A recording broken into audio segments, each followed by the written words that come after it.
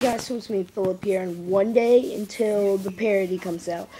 I actually finished it in one day, and I don't know how. It usually takes like a month for other people, but I finished it in one day. I kind of rushed because I didn't get this. I started yesterday on Wednesday. I need to get it done on Friday. So I've already recorded it, made the lyrics, and so yeah, guys. So expect it coming on Friday, November 22nd, when when the Hunger Games catching fire comes out. Yeah, jeez. So if you guys like this video, no intro today. I just want it's like an update. So bye. Hooah!